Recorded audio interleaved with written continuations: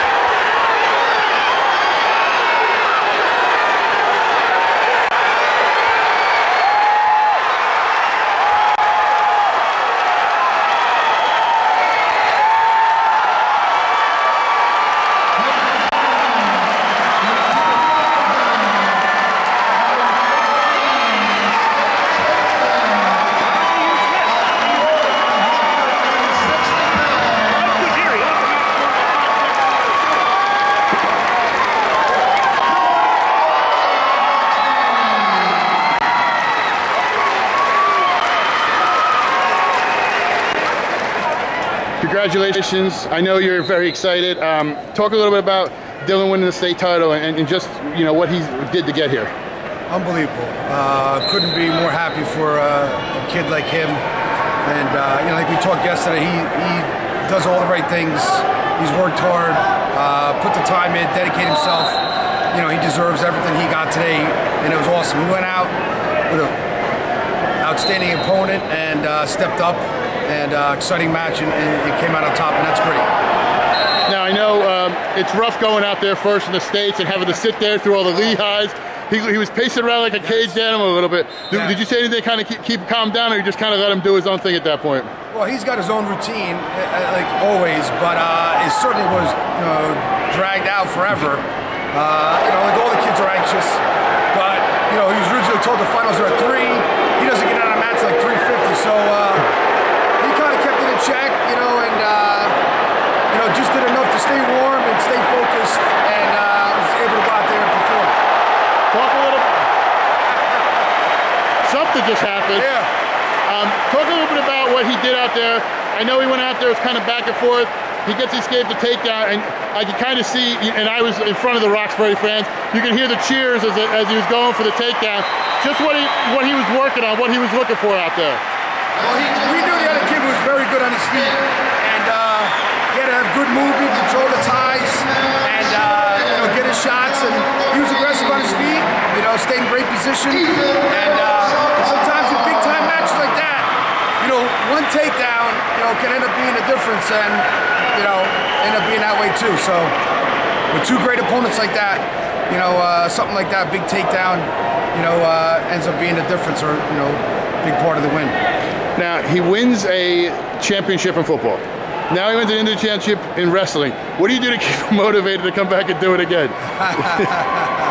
I don't know if I need to motivate him, but he's, uh, you know, he's, uh, like I said, always very dedicated, and uh, you know, he'll set his goals, you know, for next year, and uh, you know, I never have to question his work ethic. You know, he's always doing the right thing and putting the time in, and uh, you know, he's the kind of kid that will come back strong next year, and you know, hopefully wrestle well, and you know, good things are going to happen again. Congratulations on your victory. Talk a little bit about how it feels to be state champion. Uh, it feels great. Uh, I've never felt like this before. It's one of the best feelings I've ever had. Uh, it's just kind of like all the hard work has finally paid off, and it's a great feeling. Now, you go out there, you, you're wrestling back and forth, you get the takedown, you start, you're kind of getting a little bit of a lead there. Talk a little bit about what's going through your head as, as you're in the third period, you kind of see what the time's going on and what's in your head there. Uh, I knew I had a stall call. He had a stall call. Um, was I on bottom of the third? I. You were, you were on top of him at that point. You, you, would, you had him in takedown, you it was like 45 seconds left. Oh, okay, yeah, when I took down, it was like there was a minute. I knew there was a minute left, but uh, I They mean, a minute- restarted, I guess they yeah. stalled him and Uh, restarted. yeah, I know, I know a minute's a long time in a wrestling match, and a lot can happen. So with, when I got that takedown with a minute left, I knew I had to keep wrestling because you know I knew he was going to keep wrestling. And the match at that point was not over. So I just tried to keep wrestling and do whatever I could. Now, you win a title in football. You win a title in wrestling. Do you take the spring off, or what do you, what do, you do? do you, how do you try to come back? I'm just going to relax in the spring. Now- keep wrestling. You wind up winning, and you, you kind of look up, you see the seconds ticking off, and you're not really an emotional wrestler. You, you, you're kind of very blue collar, lunch pail type wrestler. When the buzzer lifts off, you let out a yell and you flex, and you're so happy. Just talk about that that emotion that was going through your mind right there. I mean, I wish I could have stayed a little less reaction, but uh, I couldn't. There was, there was just so much emotion that I had on so Now I know it's tough. I was asking your coach to come down here and be the first match and get announced first and have to sit through all the lehighs. And I saw you pace it back and forth. What were you doing to kind of keep yourself focused because it's such a long introduction? Yeah, it was a really long wait, and I really had no idea when we were gonna wrestle because they said 310. We didn't walk until like 340. But um,